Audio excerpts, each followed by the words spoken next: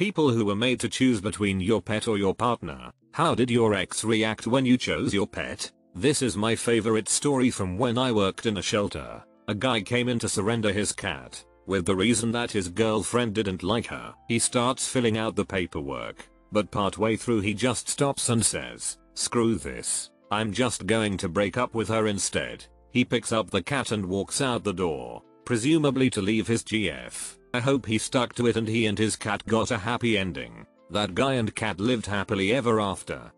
Not directly relevant, but we once took in a dog, whose human was asked to make this choice. Beautiful Weimaraner. The guy brought the dog out to our house. On a hill in the woods with acres to roam dogs absolutely love it out here and we spent some time walking around letting the dog get used to the place and meet our other furry residents. We could tell it was really hard on both of them when he left. The next day he kicked the woman out and came back for the dog. Happy ending all around. I'd say. Reject woman. Return for dog. She acted like she'd never even considered I'd choose the cat over her. I don't think that thought had ever entered her mind. Then she went into a big spiel about how I'm a loser. I'm missing out. There's only one of her. etc etc. Yeah, I knew all that when I put my foot down over her idiotic jealousy of the cat liking me more than her. The cat is now 16 and still with me, happy in her senior years. There's been other women since her, ones that treated me a lot better than she did. It was a total win for both the cat and myself. It's a good thing that there's only one of her, because she sounds like someone you wouldn't ever wanna date again. She wasn't all bad. She had a temper, and had jealousy issues, which manifested as jealousy against a kitten cat. I'm not doing a good job making her sound any better here am I? Okay yeah. She wasn't great. Not me but my sister chose our cat over her boyfriend of 4 months. He was furious when she dumped him and called her an idiot for picking a dirty flea bag over him. Cat was not a dirty flea bag. He just hated pets and wanted to try to control my sister. I was relieved when she dumped him. I never got good vibes from him. Jesus. I can't imagine having the gall to demand any kind of lifestyle change after only 4 months in a relationship let alone one as major as getting rid of a pet. Not my story but my friend. His GF forced him to choose between her or dog but that dog was remaining memento from his deceased mother and of course he instantly dumped his GF. His GF went from facile with expectations to beat red full of shame and anger and smashed his house windows when she left his house. Hope she got arrested. He couldn't do anything to report police cause he sells weed in his house and I could smell weed if I visit him and he don't want to police find out if he report to cops. Not exactly what you asked for, but I knew a couple that had to break up because she was badly allergic to his elderly dog. They were both understanding of the situation and theirs was no animosity. They ended up getting back together after the dog had passed away and are now very happy. I love this one. The dog got to live peacefully with a happy ending in the end. Did they have communication between breaking up and getting back together? Yes. They remained friendly during the two years they were broken up. They dated other people between and got back together after they both were single and the dog had passed from natural causes. Or that makes me feel kinda nice. It also sounds like it could be a rom-com plot. Tagline. This ain't puppy love. A lot of very judgmental people in this thread seem to have forgotten that allergies are a thing. My wife is allergic to cats, so we don't have a cat. Her uncle is allergic to dogs, so the dog got grounded to another room while he visited. Sometimes a pet allergy is a deal breaker. My ex asked me if she thought my dog liked me or her more and I said me. She got genuinely mad and told me I am supposed to just lie to her. Didn't last long. Why would your dog like her better? Sounds like some entitlement.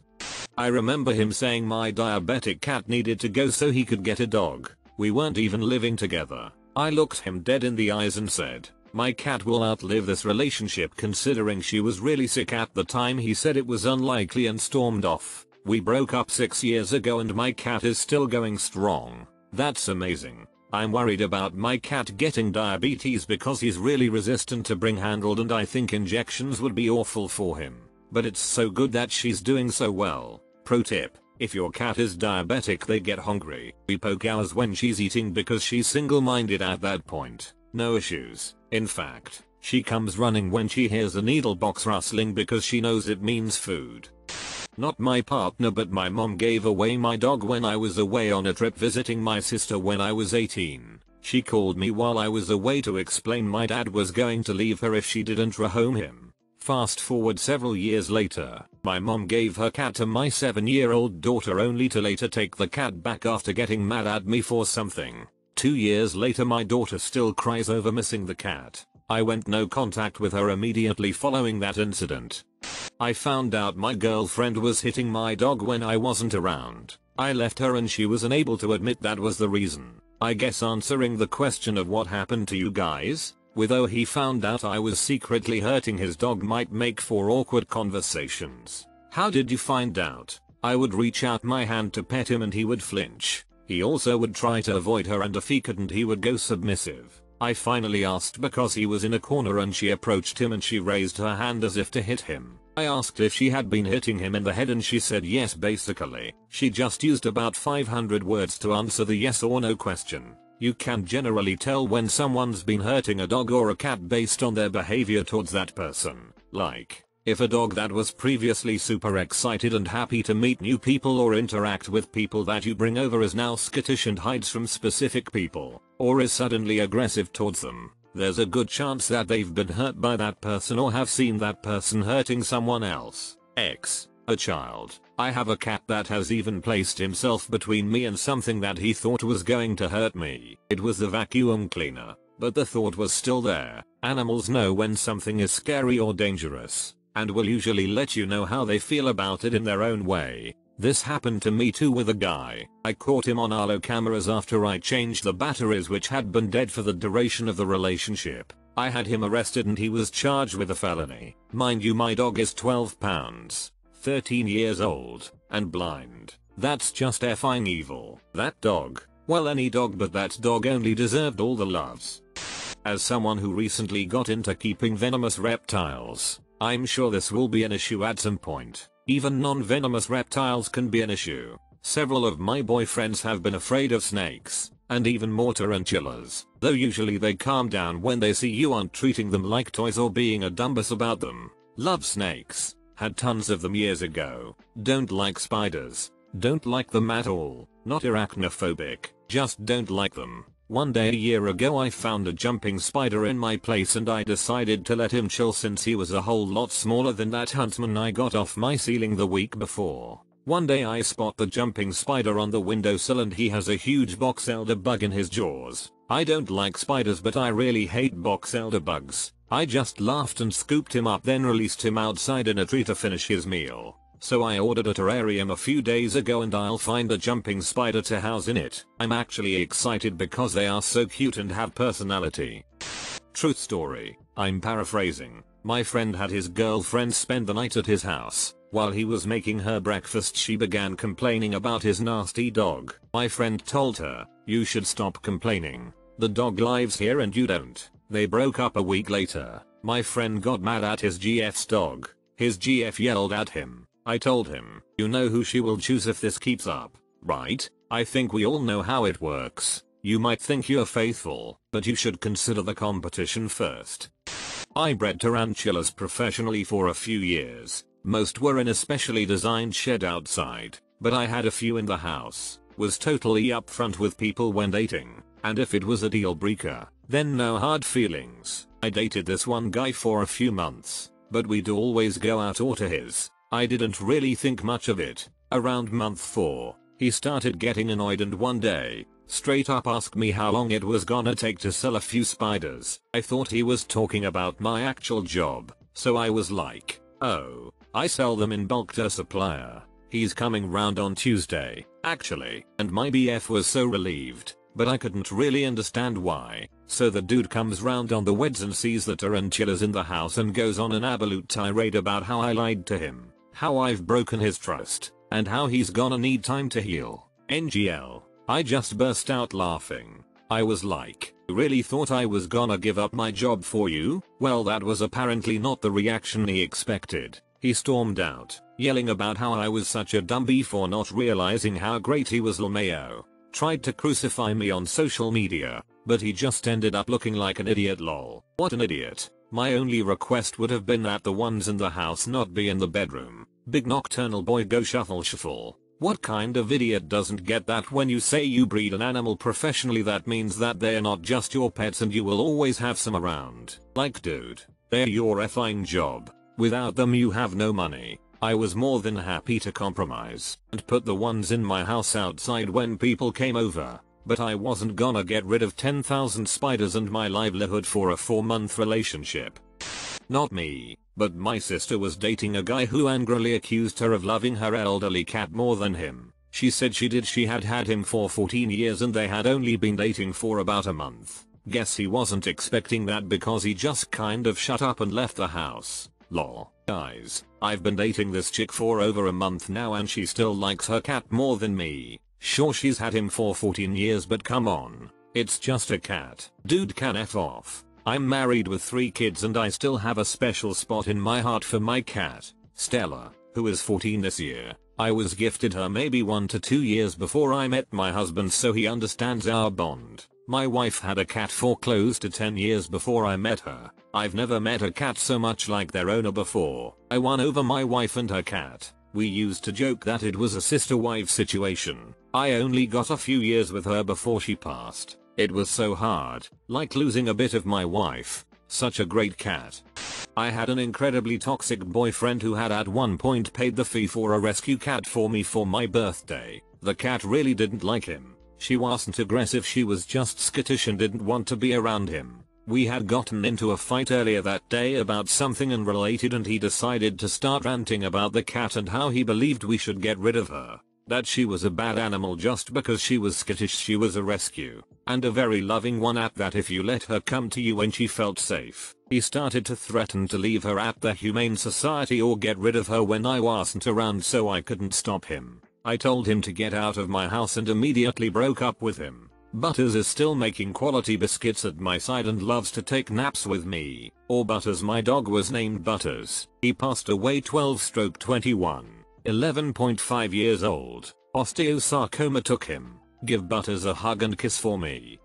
Had an old friend who chose her ex's dog over the ex. And though there was no choosing in the ones not around anymore sense, my dog 1000% loves my husband more than he ever loved me. If I had not married my husband, pretty sure my dog would have given Emmy an ultimatum. When my husband and I first met, I wasn't sold, but my dogs loved him so much that I gave him another date, and then another. We ended up moving with the dogs and his cat to Central America for two years, coming back to the US, opening a restaurant and having a kid. The dogs have long since passed from old age, but I'll forever be grateful that they convinced me to go on a second date with the best man in the world. I once dated a girl for a couple of years. We met at a pub where we both ended up having lunch and a beer at adjacent outdoor tables. She had her adorable chow mix with her. I wasn't even hitting on her. I just came over and asked if I could pet her dog. She said of course, and 10 minutes later I was still there sitting on the concrete playing with the dog.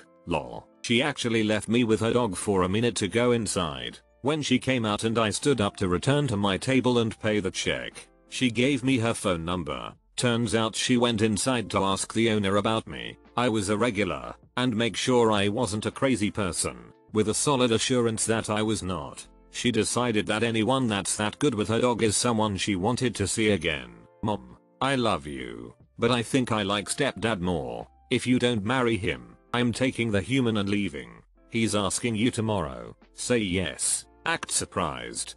I dated a guy who told me he would convince me to choose him over my cats. I broke up with him shortly after, mostly due to that, was happily single. Then my now husband comes along and says, I've always wanted to be the husband of the crazy cat lady, way to win a girl's heart. I had an ex that joked about putting my cats in a burlap sack and throwing them into a river. I told him I'd rather stick him in a sack, tied to an anvil and drop him into a river instead. We didn't date for very long. Now that man is a keeper if ever there was one. The dog chose me lol I divorced my husband and his dog destroyed his house and sadly wouldn't eat properly or do anything but stress until he came to live with me and my dog. But to be fair, my ex is terrible at pets. He just kept him outside all day and night with no interaction. The dog is a Great Dane and at the time it was me, my toddler and my dog in a little townhouse but we gladly took in the big guy over keeping him alone and miserable with his actual owner. You can learn a lot about a person by how they treat animals. I think this is because animals can't talk back. It's one-way communication, which gives you good look into someone's behavior, because it's so on display. Needless to say, I live by this advice. Two friends of mine dated seriously years ago. Girl's cat had jealousy issues and peed on guy's shoes. Guy put cat in the bathtub and pissed on cat. Relationship didn't last much longer. The cat pisses on my stuff and it's fine. But I piss on the cat and suddenly it's a huge deal. What a double standard. He should have pissed on the cat's shoes, not on the cat. That's where he went wrong. Years ago I had was living with a friend that my GF's cat did not like. Kept pissing on friend's clothes. So he pissed in a cat's litter box and made the cat watch. Dominance asserted. Cat stopped its campaign of piss politics. This dude I used to date had a cat who was so attached to him. Whenever I came over, she would get so jealous. I was nice to her, pet her, cuddled, but as soon as I'd show the dude attention, she would be so hurt and just leave the room. One morning I left to go to work to find a big puddle of cat piss in my shoe. Man I bet she was pissed. Better to be pissed off than pissed on. Why is this so funny? It's horrible, but funny that the guy wanted to stoop to the level of the animal. Yeah like that. Mittens? How, how does it make you feel? I found out that me ex had been talking to her mom about putting my dog down while I was at work and just telling me she ran away or something. Before that moment I never would have thought I could have violent feelings towards a woman. But now I know in my heart that there's a serious possibility I would have hurt her had she actually done it. Damn. That's Seth Holy sh. How did you find that out? Was getting a divorce and the ex-wife demanded my dog or she'd take me to court over the house. I reluctantly gave him to her. She called me 5 days after taking possession of him. He was chewing everything of hers, peeing all over her and her new boyfriend's house. I got him back and he never did any of that for me. Still have him and he is 15 years old now. I'm just glad she never put him down for doing that and returned your boy to you. I was thinking the same thing too many crazy stories out there. What a good boy. How much do they charge for such a spy saboteur? Ha. Dog knew exactly what to do. My ex wanted to share custody of my dogs who I adopted when I was single, and have my last name lol. Mostly he just wanted to be able to still be in my life. But he did love the dogs too. My attorney said well, if that's the only thing holding back an agreement, you should think about it and I replied it's a hard no I will fight to the ends of the earth because they are mine I won. I always thought it was adorable that when you take your pet to the vet that they give them your last name on the paperwork. 10 stroke 10 good boy. Well, he got jealous anytime I'd even pet the dogs in front of him. He started treating them terribly. Eventually he told me, basically, that he knows I wouldn't get rid of them but so long as they were around our relationship would be negatively impacted and would deteriorate. Then we broke up. Shrugs. Imagine feeling threatened and jealous of your so, of 14 years, petting a dog, they are well behaved, housebroken, no behavioral issues, no financial burden, and honestly they are low maintenance in the attention department too. That's when I noticed something was very off and went ahead and proved him right. I didn't get rid of my dogs, and I just started distancing myself. Truth story, X says I'm leaving. I'm all worried about our cats. Don't want to lose them. Don't want to separate them. X says, don't worry I'm not taking the cats. Immediate relief. I had the opposite happen when I divorced my ex-husband. When I moved out I took my two cats and my dog. He kept his two cats, and had adopted a dog. When we got to our divorce hearing he was trying to petition for the custody of my cats. The mediator basically laughed him out of the room. I have a 14 year old calico that started as a family pet but bonded intensely with me. My husband was very sketched out by cats when we were dating. When things got serious and we talked about our future together, I told him point blank that she'd been in my life longer and there was no way I could leave her behind. He started coming over more to spend time with her. He would watch my cat from hell and read about cat behaviors, needs, and introducing them to new environments. We moved her into his apartment for about 6 months and then drove halfway across the country with her. She's now the queen of our Nick apartment and can't seem to choose which of us she likes better. This is so wholesome. He went out of his way not just to get to know her but learn about cats and everything they need and want to be happy. He's probably a better expert on cats than most owners at this point lol. I ended it before she gave me the ultimatum. I would notice that she would get really annoyed with my dog some days. Welp, we broke up once I noticed that lol my dog will never break my heart.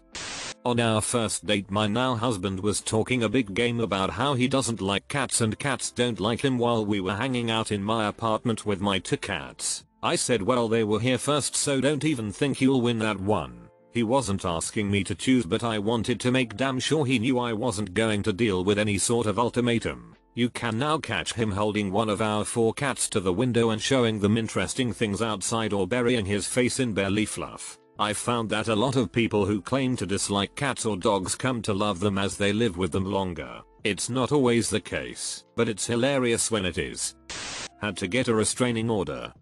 Lightly related, I had to talk my so into adopting a cat 8 years ago. I vehemently convinced him. Sadie chose him the moment we got her, latched onto him in the car cuddles him every single day since, kisses him to wake him up, greets him at the door, she walks away when I enter the house she sees it's not him. I'm lucky if she even meows at me. She's cuddled me maybe 10 times in 8 years. I beg this cat that I fought so hard to get for attention. She's one of our favorite parts about our relationship. Eater. Thank you kind redditor for the award. Made my man's eye smile to read how much some of you can relate. I personally didn't want any animals when I met my girl. She had three dogs around 80 pounds each that live in her house. It really made me nervous about living together. I was never much of a domestic animal lover. I personally saw it as a waste of time and money. We've lived together for 3 years now. We have 5 dogs now, and they are the best part of my day. Never knew what I was missing out on. Are all 580 pounds? Because that has to be the biggest and cuddliest pile up ever.